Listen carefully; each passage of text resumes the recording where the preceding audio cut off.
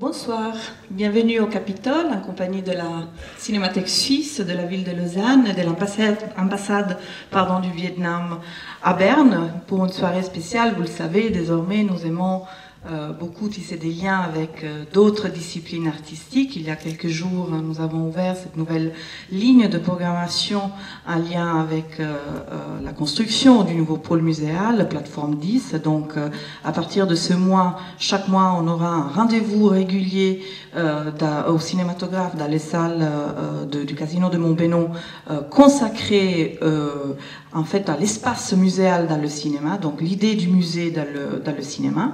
Et ce soir, en occasion du 45e anniversaire euh, de, de, liens, des relations diplomatiques entre la Suisse et le Vietnam, on, ouvre une nouvelle porte euh, envers une cinématographie euh, qui nous vient de loin, une cinématographie qui malheureusement n'est pas encore assez vue ici en Europe sur nos écrans. Euh, c'est une cinématographie, donc en général euh, celle du, euh, sud-est asiatique, mais en particulier du Vietnam. On a l'occasion de le voir dans, des festivals de cinéma, surtout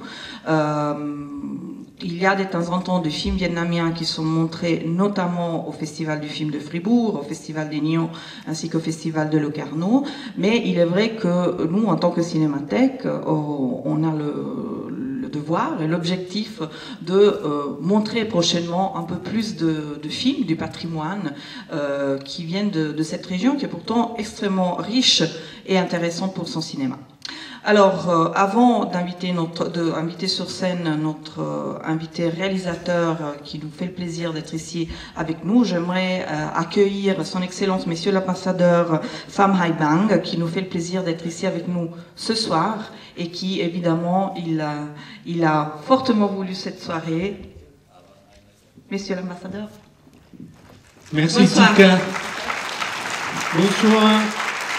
Je je tiens tout d'abord à remercier euh, Cinémathèque Suisse euh, qui nous a aidés euh, à présenter ce film Nostalgie de la, de la campagne de M. Dang ici ce soir.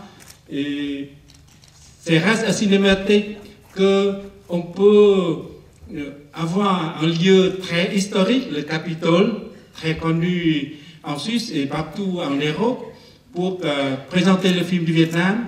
Je remercie aussi M. Valentin Christi, euh, président, du, président euh, du conseil communal de la ville de Lausanne, représentant aussi des autorités de la ville de Lausanne, qui est ici avec nous ce soir. Et merci d'être venu dans le temps qui n'est pas très beau. Et puis maintenant, je laisse la parole à M. Daniel. Bonsoir, bienvenue à Daniel Ming. Bonsoir à vous tous. Alors peut-être... Euh, Merci d'être venu pour voir mon film Nostalgie de la campagne, en film vietnamien, mais subventionné par euh, NHK, mhm. euh, la, télévision, la télévision japonaise. japonaise. En fait, le film avait gagné le prix du public euh, au Festival du film de Fribourg, c'est pour ça que je l'ai nommé tout à l'heure aussi, mais c'est vrai que euh, euh, ce réalisateur a pu montrer aussi d'autres films, à Locarno notamment, donc non seulement le Vietnam a des liens étroits avec la Suisse, mais aussi le cinéma vietnamien. Il faut dire que euh, Messieurs Dang Nhad Minh est une figure phare en fait de, du cinéma vietnamien. On aura l'occasion de discuter un petit moment après la projection du film. Est-ce que vous aimeriez rajouter quelque chose par rapport à, ah, votre film Avant de, la projection, je voudrais dire quelques mots. Euh, on dit que pour connaître mieux Vietnam, il faut aller à la campagne. Parce que la majorité des Vietnamiens sont paysans et ils habitent euh, à la campagne. Ce soir, je vous invite à visiter un village vietnamien qui se trouve au nord, loin de Hanoï, 40 km. Euh, ce, village est totalement différent au village euh, en Suisse, par exemple. Mais euh, je pense que les sentiments humains que vous voyez dans le film sont pareils, soit au Vietnam ou en Suisse. Je ne crois pas que le cinéma peut faire beaucoup de choses, mais je crois fermement que le cinéma, cinéma peut approcher les gens les peuples. Et voilà, c'est pour ça, j'espère qu'après avoir vu ce film, vous vous soyez, euh, vous vous sentiez euh, plus proche au Vietnam, notamment aux paysans du Vietnam. Euh, je tiens à remercier chaleureusement la suisse ainsi que l'ambassadeur, l'ambassade du Vietnam, les organisateurs de cette soirée. Et je vous souhaite une bonne projection. Merci à vous tous. Merci beaucoup. Merci, monsieur l'ambassadeur. À tout à l'heure. Bonne projection. En fait, j'ai demandé à Jean-Marie Tran de nous joindre, de se joindre à nous. Euh, Jean-Marie est un ami de la Cinémathèque, un cher ami de la Cinémathèque, et c'est grâce à lui qu'on a pu aussi réaliser euh, cette euh, soirée spéciale et avoir avec nous cet invité précieux. Alors je, je propose de nous asseoir, comme ça on est plus à l'aise.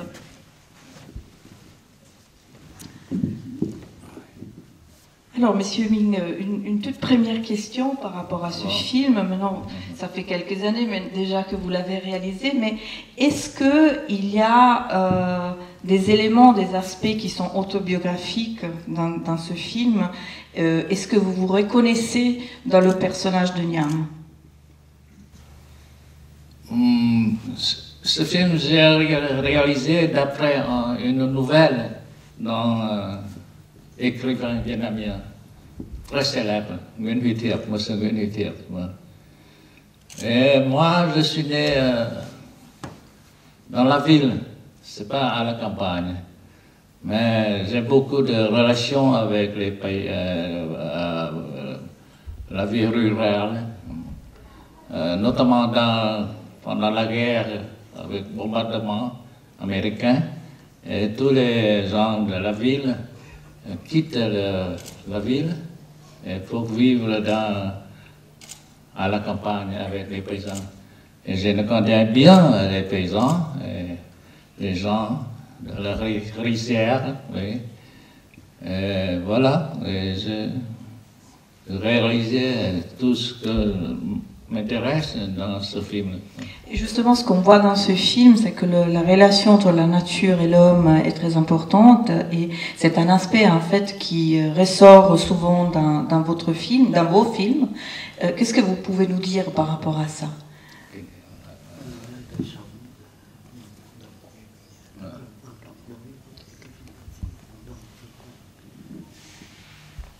Je connais bien euh, la vie des paysans. J'ai beaucoup d'affection.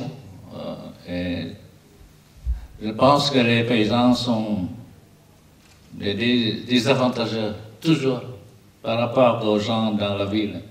Mm-hmm. Et maintenant, euh, oh, j'ai réalisé ce film il y a 20 ans.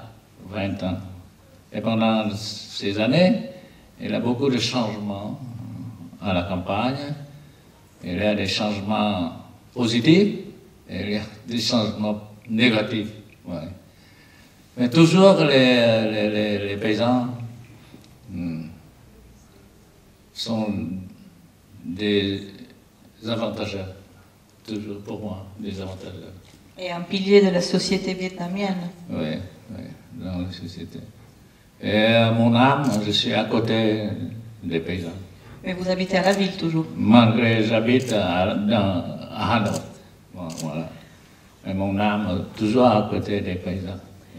Donc vous avez euh, commencé à réaliser des films documentaires euh, dans les années 60, à partir des années 65, je, je crois.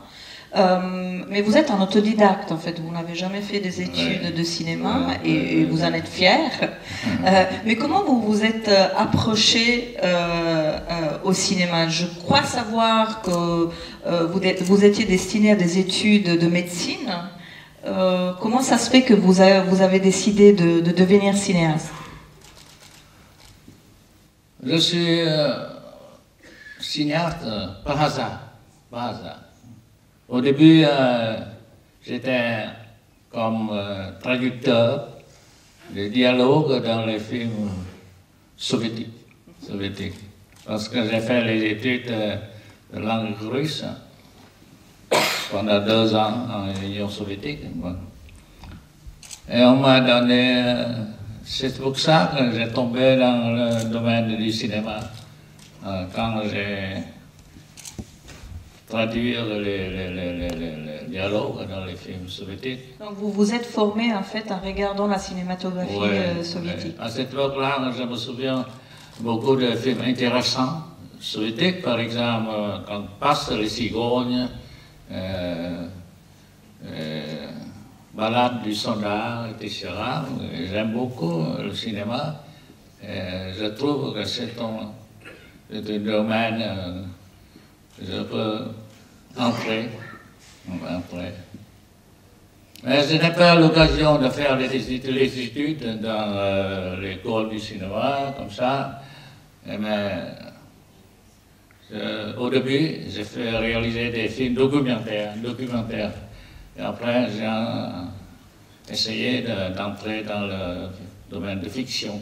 fiction Et quand j'ai fait euh, quelques films, j'ai reçu une bourse de stage euh, cinématographique en France, en France, pendant un an. Voilà, c'est tout. Et euh, donc, euh, je disais tout à l'heure que M. Ming est vraiment une figure phare de la cinématographie vietnamienne, euh, un cinéma qui s'est développé euh, surtout à partir des années 70, donc à, la fin de la guerre, grâce aussi à l'existence d'une école de cinéma qui existe toujours, qui est l'école de cinéma d'Hanoï, où on forme non seulement des cinéastes, mais aussi des comédiens, des scénaristes et en général des professionnels du cinéma. Euh, mais il est vrai que euh, c'est surtout grâce à un film de Monsieur Ming qu'on a commencé euh, à parler du cinéma vietnamien dans les années 80, dans les années 80. C'était Quand viendra le dixième mois, qui est d'ailleurs le premier film qui a été, qui a été montré dans les salles cinématographiques en Europe. Donc pour nous, c'est vraiment un, un, grand honneur de l'avoir ici. On sait d'ailleurs que euh, commence à, à, numériser, à digitaliser et à restaurer euh, les films de la cinématographie vietnamienne des années 60-70. Donc, euh, dont évidemment euh, ces films. Donc, on va, euh, on espère pouvoir dans les prochaines années pouvoir les acquérir et vous les montrer. Mais par rapport au, au, au cinéma vietnamien d'aujourd'hui, je sais que vous êtes un peu critique vis-à-vis euh, de l'école euh, de cinéma, aussi parce que vous venez euh, d'une histoire différente en étant autodidacte. Qu'est-ce que vous pensez du cinéma vietnamien d'aujourd'hui? Le cinéma vietnamien, maintenant, je peux dire, c'est comme dans tout le monde. Le cinéma commercial qui dans, dans, le cinéma. Un peu de films euh, artistiques, on peut dire ça. Ouais. Pas de films de critique sociaux, il n'y a pas de films. Maintenant, euh, presque tous les films vietnamiens sont euh, productions privées. Et les producteurs privés n'aiment pas faire des films euh, avec les critiques, avec les problèmes sociaux, etc., il peut gagner plus d'argent. Plus facile, c'est de faire les films de divertissement, c'est tout. Voilà. D'ailleurs, on en discutait tout à l'heure, la, la, télévision joue un rôle très important aujourd'hui en Vietnam, justement pour, euh, pour la production de films, non seulement de cinéma, mais beaucoup de films euh, à la télé. Et il y a aussi pas mal de, de coproductions avec l'Europe, notamment avec euh, les pays francophones. Mais est-ce qu'il y a un réalisateur ou, quelques noms que vous avez envie de nous euh, citer, de nous porter et qui se bat contre ce genre de cinéma, je dirais plus commercial, euh, que vous aurez envie de, défendre ben, Je voudrais dire d'un autre côté, il y a des jeunes réalisateurs qui voudraient faire le cinéma d'auteur. Il y a quelques par exemple, euh, Phan Đăng Di, etc. Voilà, avec la subvention des festivals, plusieurs festivals, et on peut faire ça. Mais il a gagné quelques prix, quelques prix, euh, c'est pas grand prix, mais petit, mais quand même, mais le cinéma vietnamien grâce aux jeunes réalisateurs comme ça, le cinéma d'auteur, existe quand même dans les festivals. On peut connaître, on peut le cinéma vietnamien. Sinon, je pense que c'est un cinéma inconnu pour le monde entier. Jean-Marie, est-ce que tu as une question peut-être? Alors tout à l'heure, je discutais avec euh, M. Mine. Je lui dis, j'ai eu le plaisir de visionner sept fois son film. Il m'a juste rappelé que un vrai critique devrait avoir vu au moins 35. 35 fois. Alors, loin d'être critique, nous avons eu l'occasion de discuter sur euh, pas mal d'aspects. Et puis la chose la plus étonnante, je disais, mais la musique dans ce film.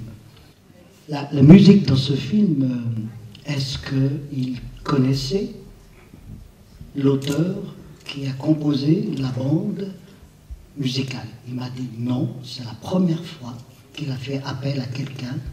C'est la première réalisation pour ce film. Et c'est une musique qui colle merveilleusement bien. Euh, il y a ou trois scènes. Je ne sais pas si vous vous rappelez, euh, c'est la première rencontre. La rencontre euh, au bout de la gare, j'ai cru voir la fée Clochette. Il y avait un petit tintement, comme on dit, qui nous rappelle l'apparition en même temps. Alors, ça fait, ça fait tout drôle de voir une référence comme ça dans, dans un film vietnamien. C'est une référence cinématographique, mais universelle. Ah, c'est des étoiles qu'on a vues. Donc, est-ce qu'on peut dire que la musique dans, dans, votre film joue un rôle déterminant, comme si c'était un personnage? Euh, Oui, la musique, c'est un compositeur, jeune compositeur. C'est pour la première fois et elle a fait la musique pour le, le film, pour un film. Son premier film. Ouais. Est-ce qu'il y a des questions en salle? Avant d'aller goûter euh, des spécialités vietnamiennes et aussi vaudoises dans l'esprit euh, de cet anniversaire. Merci pour, pour ce film qui mériterait euh, une longue conversation. Moi j'ai deux questions qui peut-être euh, vont déclencher d'autres réponses. Quand on voit le puits pour la première fois, euh, on voit une date, 1981. Et je me suis demandé, euh, de ce film fait il y a 20 ans, ce que signifiait cette date si clairement mise en évidence.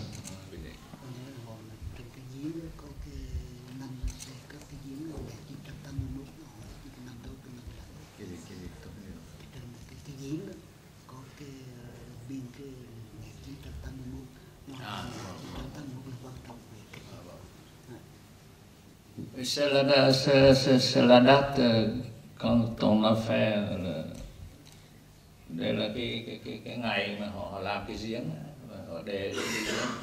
Alors il a dit c'est juste la date de la construction du puits uniquement. Donc il n'y a pas à interpréter euh, autrement qu'une date qu'on voit sur une maison quand elle est construite et qu'on lui met l'année de sa construction. Ça me rassure. La deuxième question, c'est à propos des, des acteurs.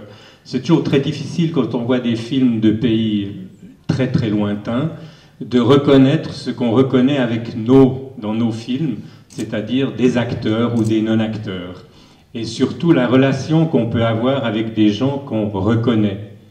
Est-ce que dans ce film-là, les acteurs, euh, certains des acteurs sont des gens qui jouent dans le cinéma vietnamien d'il y a 20 ans et qui sont donc reconnaissables par le public? Et euh, est-ce que ce tournage a lieu dans un seul endroit dans lequel vous pouvez utiliser des gens qui ne sont pas des acteurs? Dans ce film-là, il y a seul l'actrice qui a joué la femme d'outre-mer du Vietnamien, c'est une actrice très célèbre au Vietnam, très célèbre. Elle a joué dans mon film Quand viendra le dixième mois. Elle s'appelle Madame Leven. Les autres sont non professionnels, euh, sauf, sauf euh, la belle-sœur. La belle -sœur. Elle était chanteuse de euh, folklorique, musique folklorique. folklorique Et les autres sont non professionnels. Non, mais c'était des paysans que vous avez trouvés dans cette région? Bon, nous avons tourné tout entier dans cette village, dans ce village.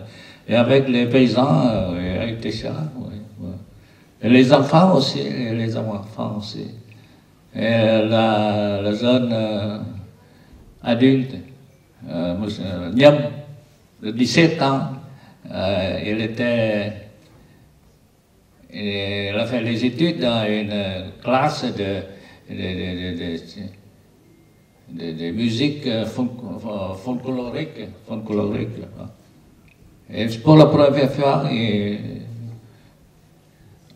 joue dans un film. Est-ce qu'il y a encore une question?